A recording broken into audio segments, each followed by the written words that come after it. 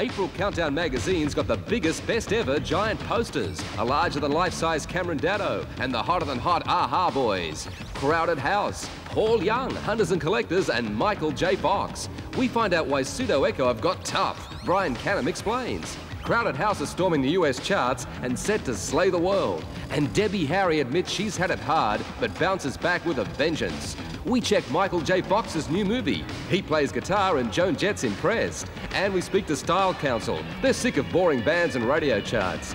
Are you Australia's top Duranie? We'll find out. And don't forget our competitions. You can win tons of great prizes. April Countdown magazine with Brian Canham on the and tons of posters inside. It's at your newsagent now.